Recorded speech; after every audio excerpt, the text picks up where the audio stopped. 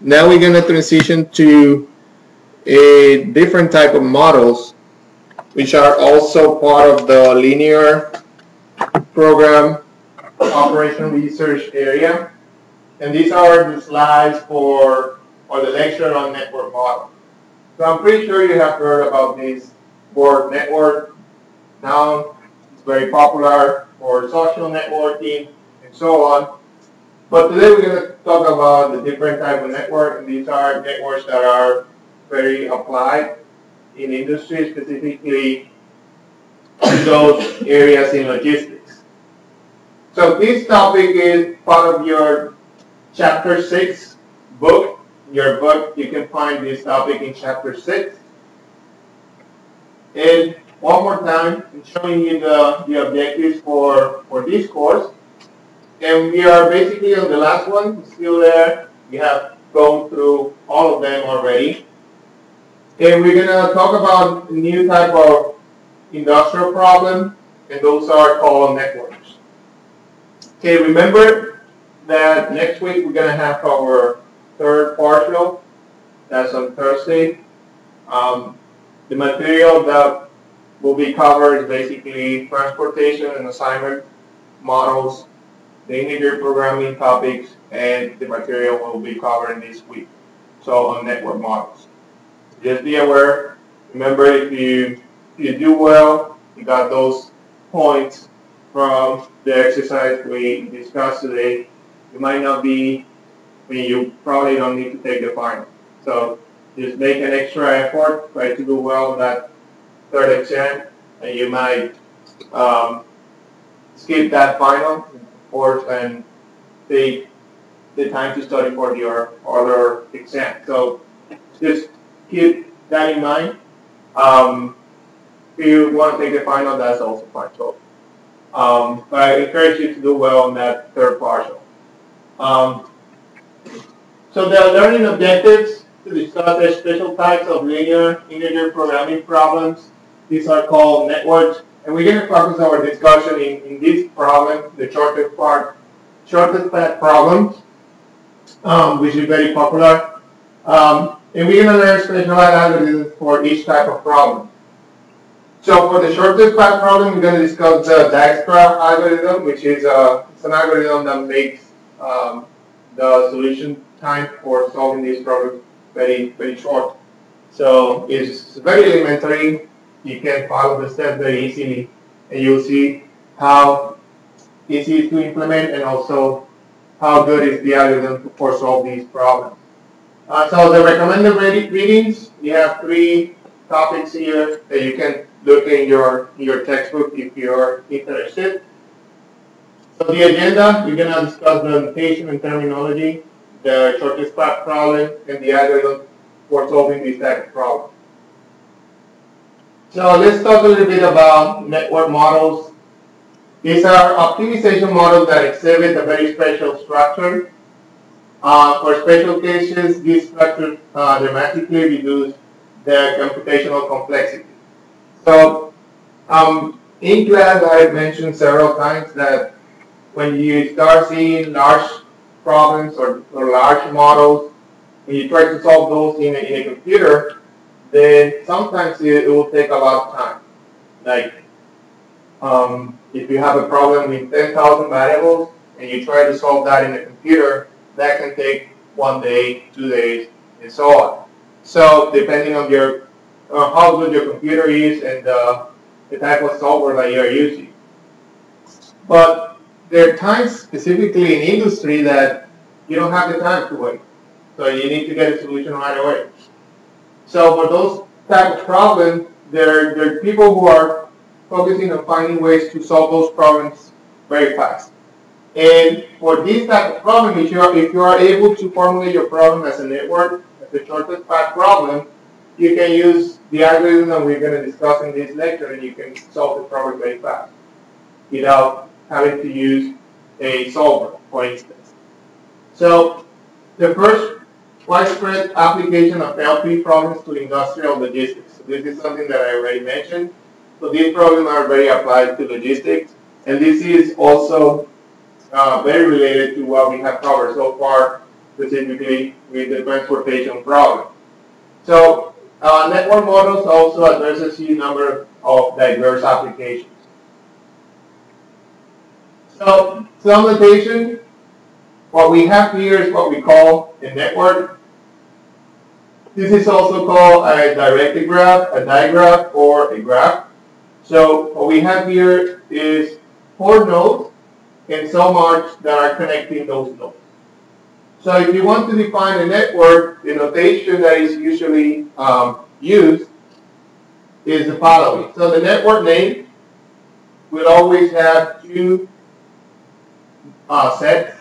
So you will call the network G, and you will have a, uh, a set of nodes and a set of arcs. Because those are the two components for your network, the arcs and the node. So if you want to name those nodes, you can use N, and you know you have four nodes, so your nodes are 1, 2, 3, and 4.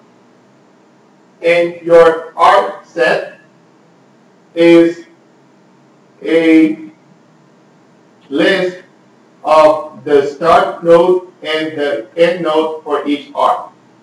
So if you look here, from node 1 we have two arcs, one that goes from 1 to 3 and one that goes from 1 to 2. So those two arcs are the first two listed in this set. If you move to node number 2, you have an arc from 2 to 4. That is the last one listed here. If you go to 3, then you're going to have 3 to 2. And if you go to still in 3, you also have 3 to 4. You can notice that there's no arc coming from 4. All of the arcs connected to 4 are coming from other nodes. So there will be no arc in your arc set with the 4 as a starting node.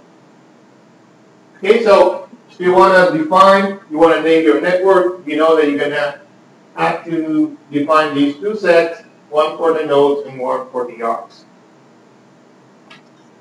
The, there's a difference between uh, networks. This is what we call an undirected graph. This is what we call a directed graph. And the difference is just uh, that one of them have the arcs with uh, directions. So you know that from 1 to 2, you're going to have to go from here to here. Versus an undirected graph in which you can go from 1 to 2 and to 2 to 1. Independently of the direction. So one of them tells you the direction of the arc. The other one is basically telling you that you can go from one to the other and from this one to, to the other without any constraint. Network are used to transport commodities like physical goods, communication, electricity, and so on. And the field of network optimization concern an optimization problems on networks.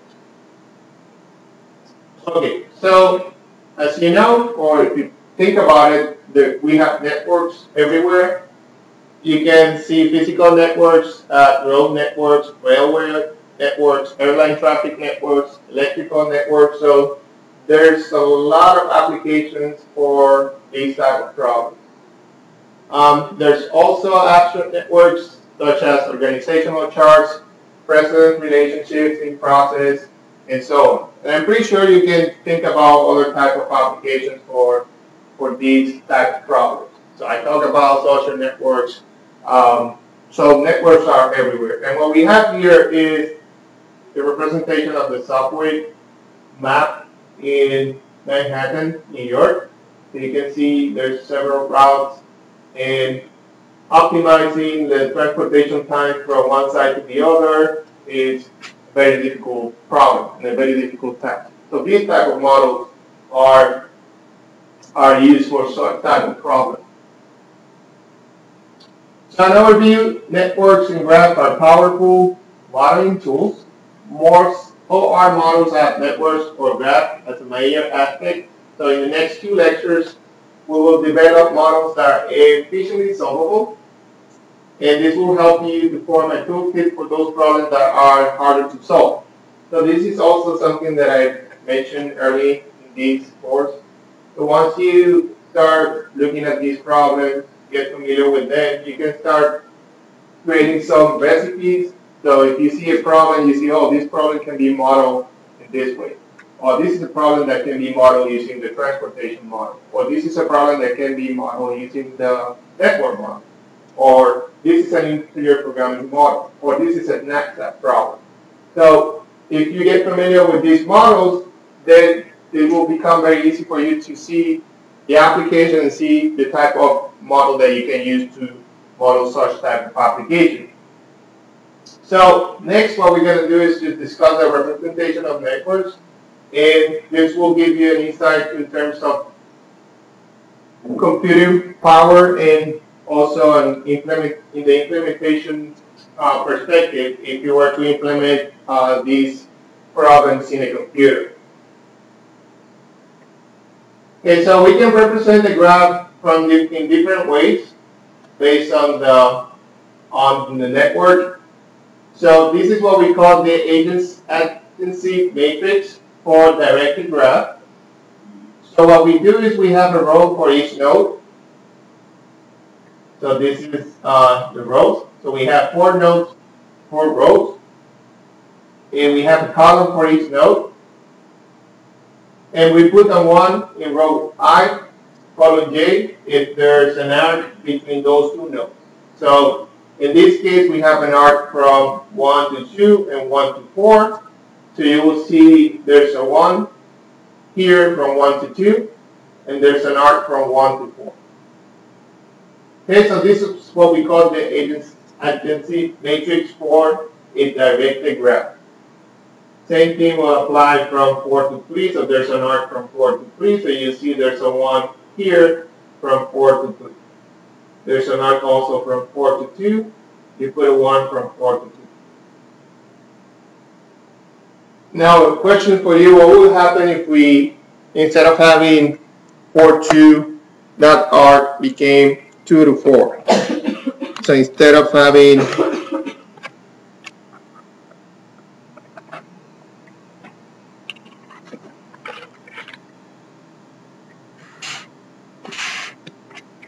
this arc, we have now this arc. So there's one of the numbers that is going to change here in the, the matrix.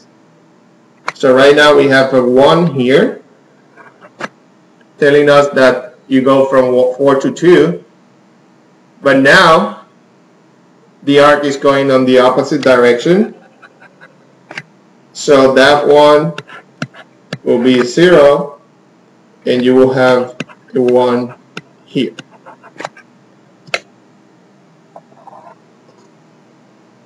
Does that make sense? So remember in this type of work, yes. Oh, yes. Thank you.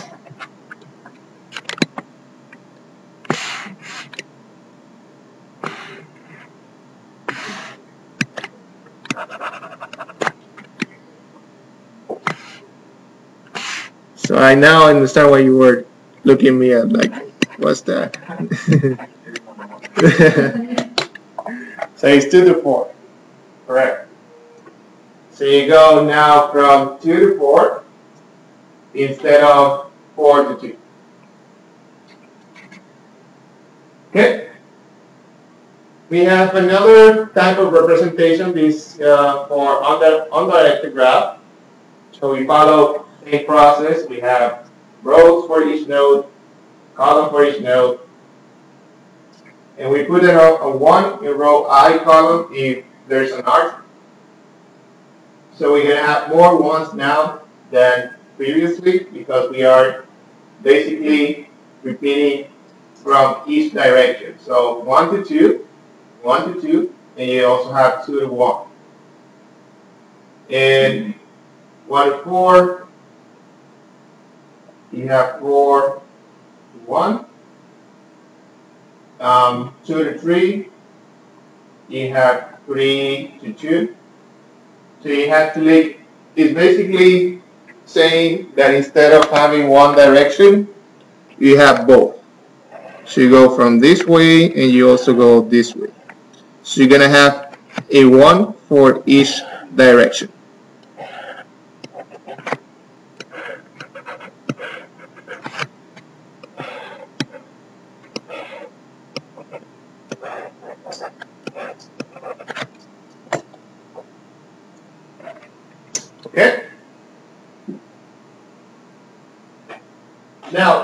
On that, we can define the degree of a node in the number of incident arcs, and we're going to use this later on in this lecture. So the degree again is the it's the number of incident arcs. So the incident arcs are the, the arcs that are connected to that particular node. So we can define the degree for each one of those nodes. So for one we have two. So it's four and two. For two we have three, three arcs. For three we have two arcs. And for four we have three arcs. Okay, so that's the degree for each node.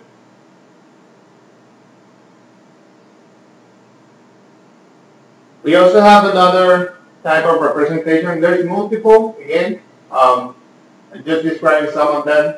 So this is called the node arc incident matrix. So we have a row for each node. We have a column for each arc. So now notice that instead of listing the nodes at the top, we are listing the arcs. So we have a letter for each arc, A, B, C, D, and E. And we're going to use that information to represent our network. So we put a, a 1 in row I column J if arc J starts at node I. And a minus 1 is the opposite. So from here you can see that arc A starts in 1 and ends in 4. So since it starts in 1, you put a 1 here. And since it ends in 4, you put a minus 1 in 4. Same, if you look at this arc, arc E, gotta go here to this column, and you put a 1 on that node where the arc starts, so this is 1. And you're to put in minus 1 on that node where the arc ends. So that's minus 1.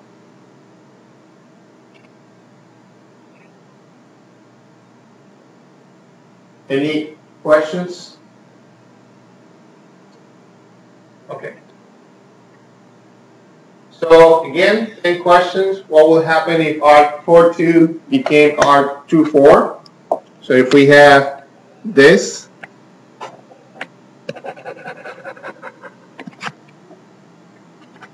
so we're going to look at Z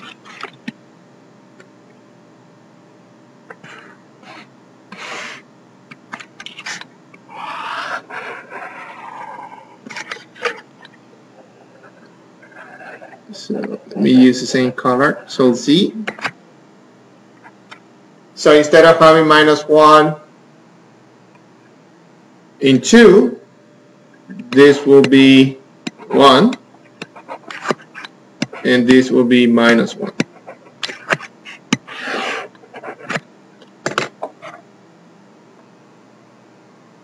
Because we are changing the direction of the arc. So now it will start in 2 and it will end in 4.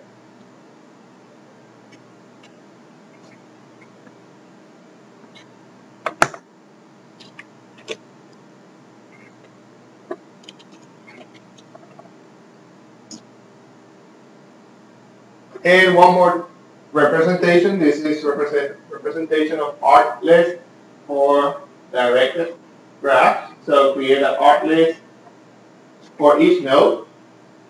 So we have for one, we have two arcs. So you go from 1 to 4 and 1 to 2. So those are the arcs.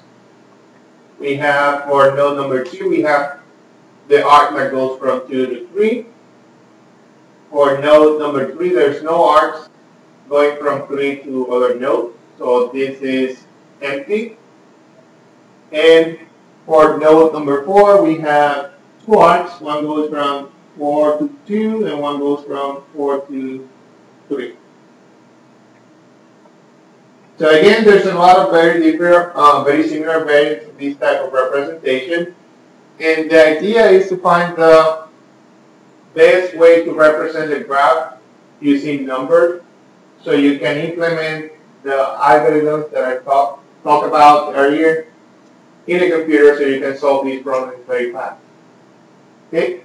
So if you can represent the graph very simple, then you can use that information to implement your algorithms and find the solution. Okay, so each representation has its advantages. Major purpose of a representation is again efficiency in algorithms and the ease of use. The node arc incidence matrix shows up in linear programs. And next, what we're going to do is define some networks. So we have different type of networks, and I'm going to name some of them for the purpose of this lecture. Can I go to the next slide? Okay. So these are four different type of networks. First one is what we call a path. Let me show you the figure here.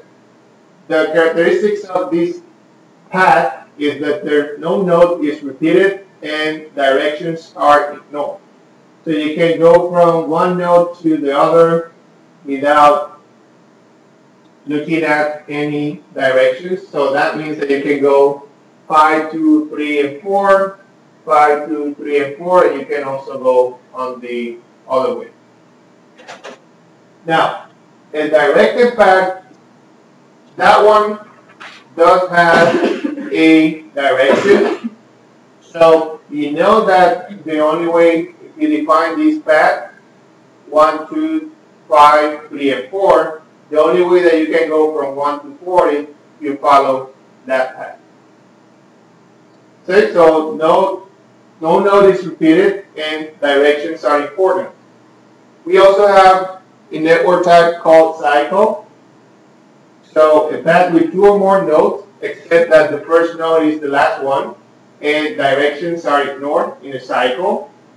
So for instance, we can define a cycle. Again, you start in one node and you end on the same node. And there's no directions. So this is also called a loop. Okay?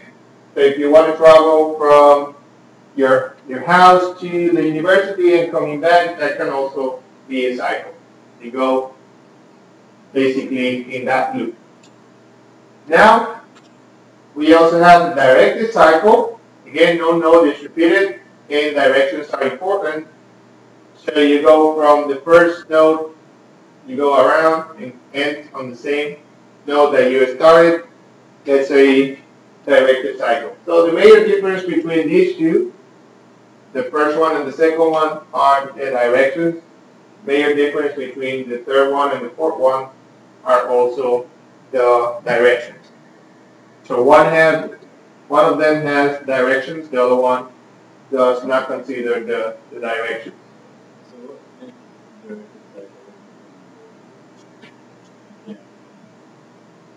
Yes. So in this one, you don't have a closed loop. So, so going back more.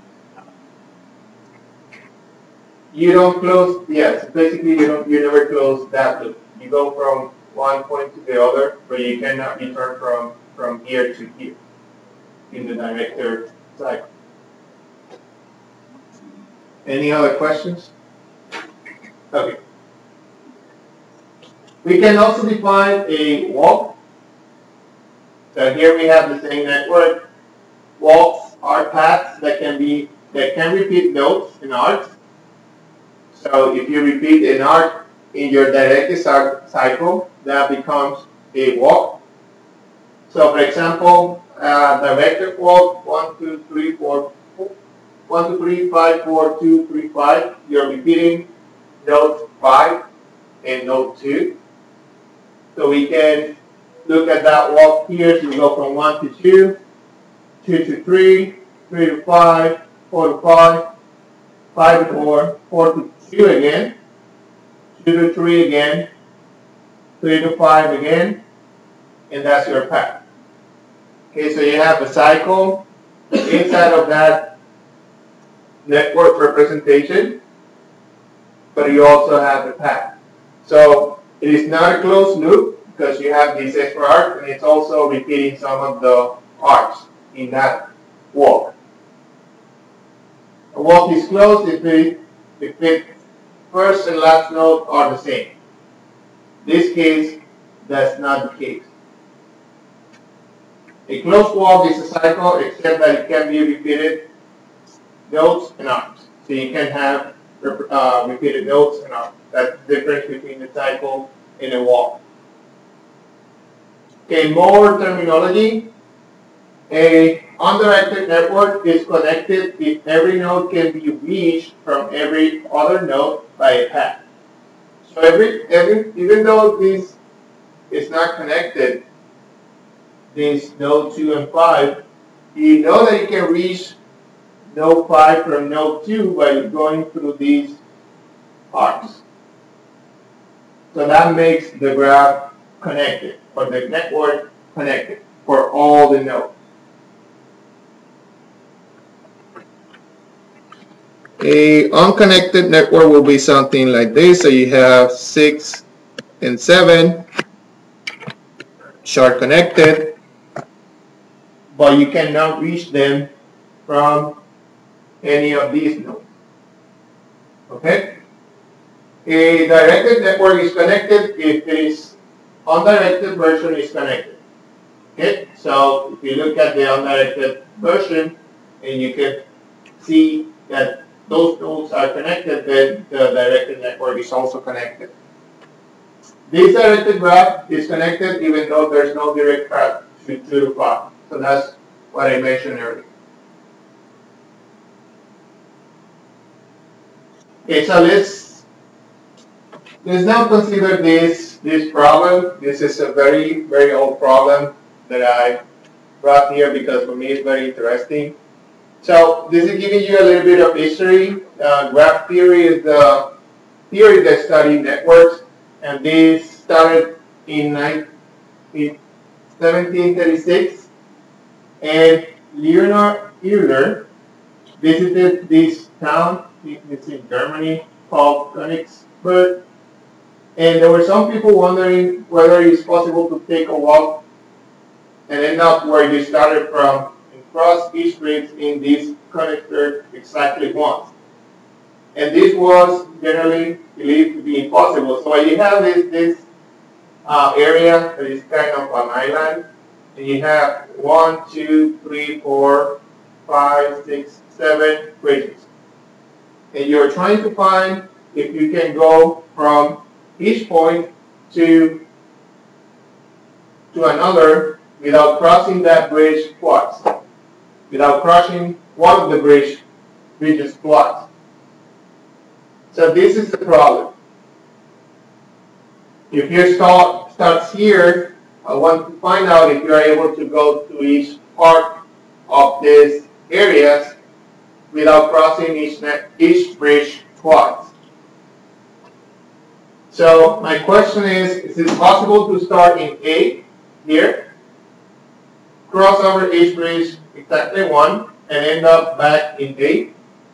Are you able to find that path that can perform or is it possible?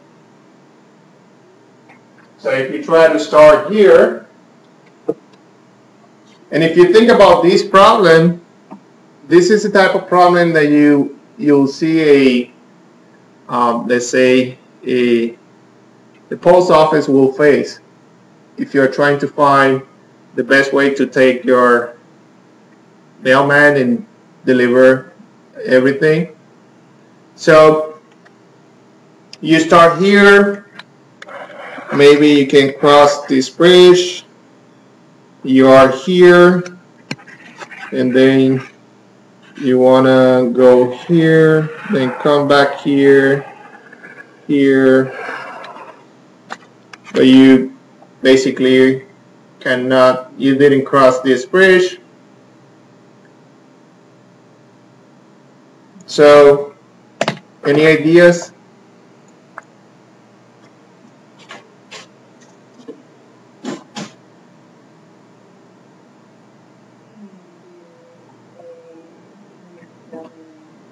Eight, three, seven. You go A three seven, then you need to cross one of these two. Or we can, we can have. You can't, no, no, go three, down to seven, up to four. If you, if you cross here, then you, you need to cross one of these two. Uh, Yeah, so that's. So if you go here, three, seven, then six, four, you are back to this area and you already crossed these two. So there's no way that you can go this direction. So if you go this way, maybe go back here, then you're ending on the same position, so you already crossed these two. If you go here, here, here, here, you're not crossing two. Come to these points, you're not able to get to seven.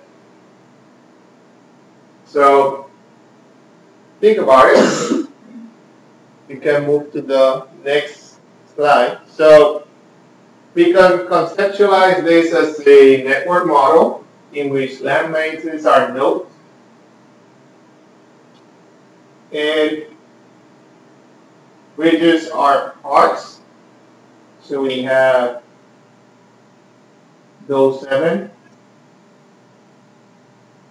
And this is our network. So now we can try to solve this problem based on, on a network. So translation to graph or networks is there's a walk starting at A and ending at A and passing through each arc exactly one. So that's the question we're going to answer. We want to cross each arc, each arc once, and we want to go back to A.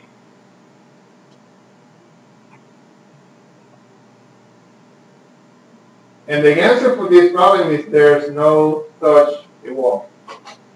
Okay, that doesn't exist.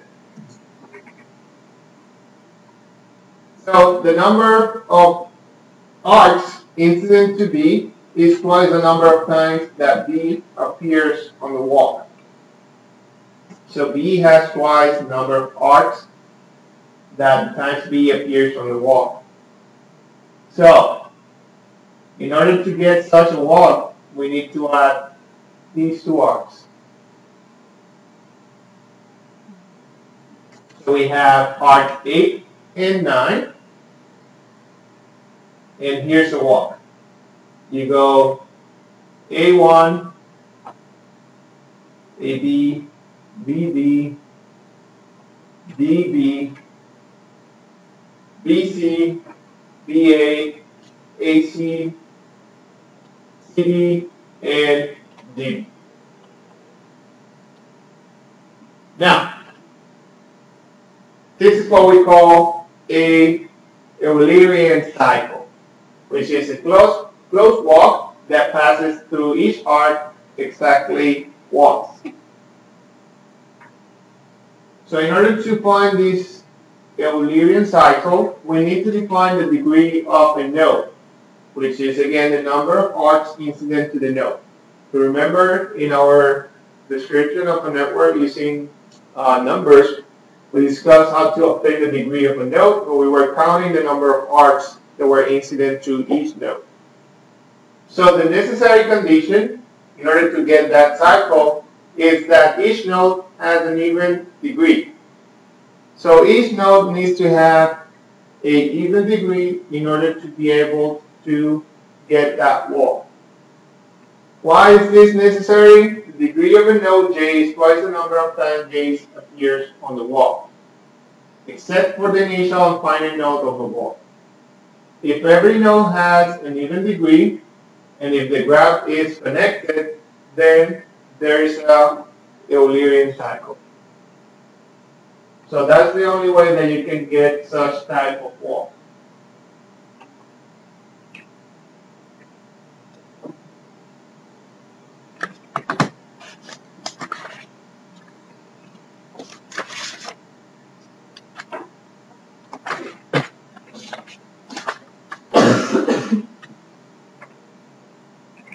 Okay?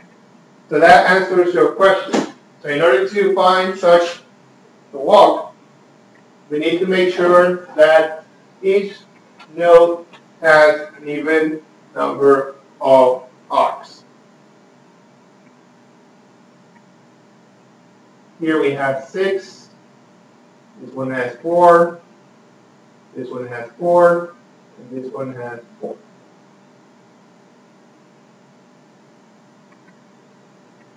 Okay.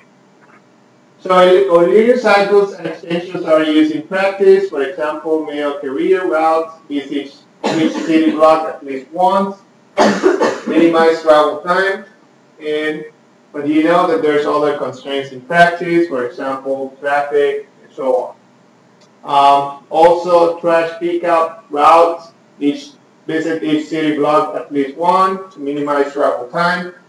And there's also other constraints that need to be considered, but this is these are two applications that directed use this uh, Eulerian cycle. Okay, more definitions. A network is connected if every node can be reached from every node from by following a sequence of arc in which directions is ignored. Now, a spanning tree is a connected subset of a network including all nodes but containing node cycles. So a spanning tree basically connects all the nodes but without having any cycles, without having any arc or closed loops.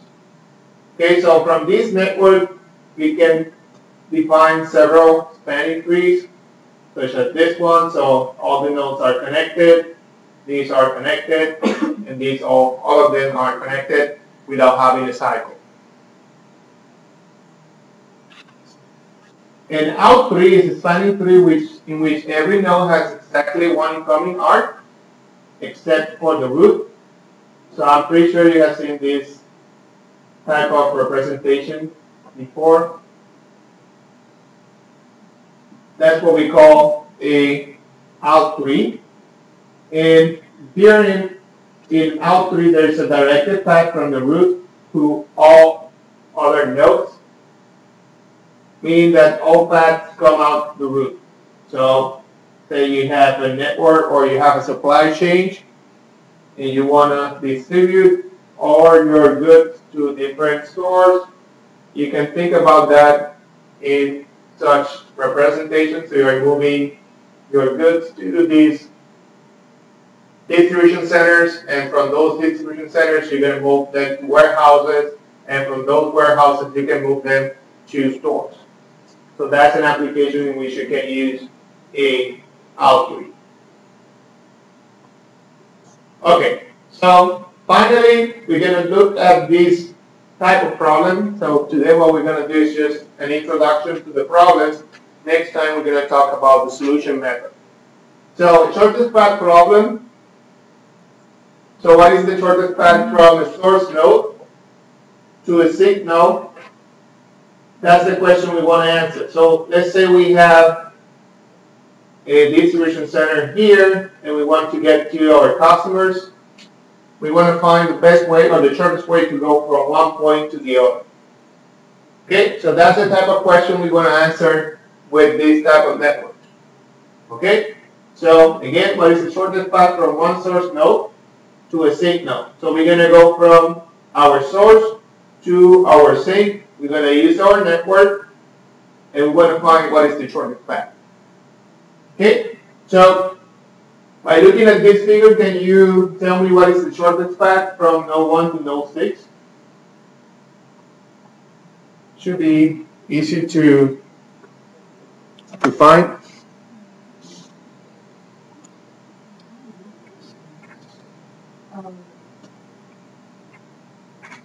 So I think you can basically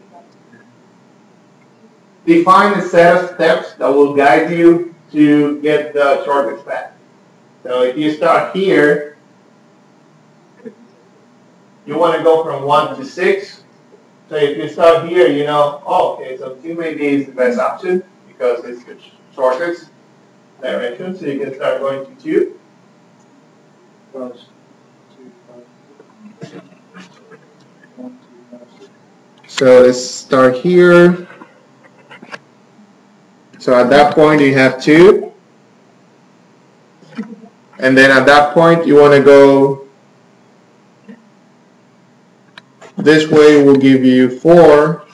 This way will add two. So you can go this way and then go this way. So this point is 4, this point is 6. Would that be the shortest path? I think so. So that process, that same steps that you, were defining in order to get that shortest path, that's what the process that follows the algorithm that we're going to discuss. And it's very simple. As you see, you can, by looking at the network, you can easily define what's the best solution. Forward pass, backward Backward? It's like, Forward uh. Oh, yeah. It's, it's similar, right? So you're going to do a search, a step backward. I would say we're going to go the other direction, not backward, the other direction. Forward, yes. So we're going to be start, uh, looking at the options that we have until that point, and based on those options, we're going to decide what to do next. Okay? So that's the idea. And again, um, I know you're familiar with this, but that that uh, what I want you to see is the intuition behind. So you can come up with a large network and try to solve it on a computer will take days. But if you can define these type of algorithms, we'll solve the, solve the, the problem very fast. So assumptions for this lecture, there's a path from the source to all the other nodes, and our, all the arcs length are non-negative. Having those assumptions makes things more easy, but if we add those, now we uh, quit or take out those assumptions, then um, problems become more, more difficult to solve.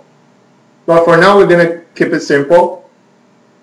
So where does it arise in practice? Common applications are shortest path in the vehicle, shortest path in internet routing, and shortest paths around Texas State University. If you want to go, um, I don't know, to one of the buildings, you always try to find out the best or shortest way to get there, unless you're trying to exercise. So how will we solve the shortest path problem? We're going to use the algorithm. So in our next lecture, we're going to discuss the Dijkstra Dijkstra's algorithm. And I think that's all I'm going to, well, I think we did this already. Maybe we can start with this next time. So that's all we're going to have for today. Give need some uh, extra time. But let me know if you still have questions um, about what we discussed at the beginning of the lecture. And keep remember that we're going to have our exam next next week. Okay? We you on. I I know I don't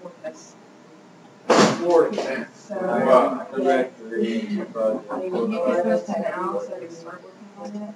Sure, I can prepare the the review. Didn't know you guys had that many. I thought nobody gave exams by the end of the sem- semester. Nobody's here.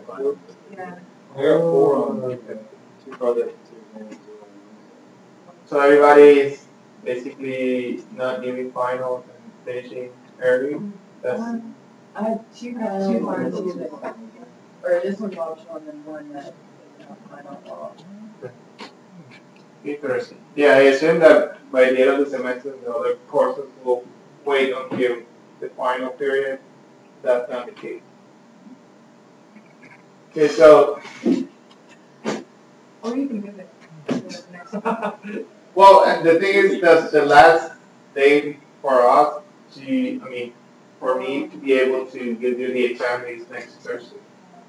After that, the calendar doesn't allow a fulfill final. So the other option that we can discuss is maybe not having the partial and everybody takes the final. But the final will be I don't know will be stressed out. Yeah. So uh, I, I think, yeah, it would be better just take the partial and then figure out if you need to take the, the fine. I think at the end, will yeah, will benefit the majority of you. Just let me know. Um, so today I'm gonna post a new homework, and that homework, that homework will, will be submitted the day of the of the exam. but We're gonna discuss it on Tuesday. That's gonna be part of your review. Okay, so the homework probably contains some problems from from this lecture. You're, you're not gonna be able to solve them until Thursday, but just to make your work. So that homework is gonna be posted today.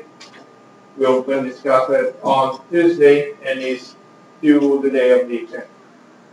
Okay? Okay, so I'll see you on Thursday.